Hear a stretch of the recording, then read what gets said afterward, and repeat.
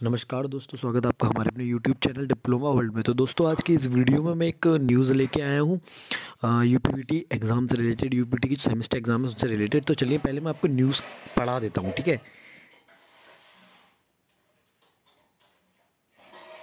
तो चलिए, मैं आपको न्यूज़ पढ़ा देता हूँ। जैसा कि आप सामने देख पा रहे लिखा है कि कोरोना संक्रमण से विद्यार्थियों को बचाने के मोबाइल फ़ोन या लैपटॉप पर प्रश्न पत्र व उत्तर पुस्तिका भेजी जाएँगी। बहुविकल्पीय प्रश्न पूछे जाएँगे। सॉफ्टवेयर के माध्यम से नकल रोका जाएगा। इस लेकर उच्च अधिकारियों के साथ बैठक होगी। विद्यार्थियों की सुरक्षा के साथ कोई समझौता नहीं होगा।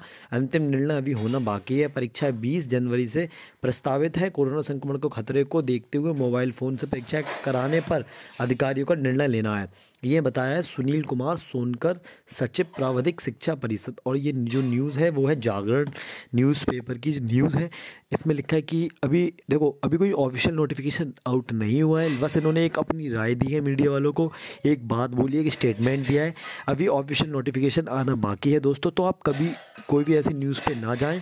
अभी कोई कंफर्म नहीं है कि आपका पेपर ऑनलाइन होगा या ऑफलाइन लेकिन हाँ चांसेस लग रहे हैं कि अब जो एग्ज़ाम है वो ऑनलाइन मोड में ही कराया जाएगा।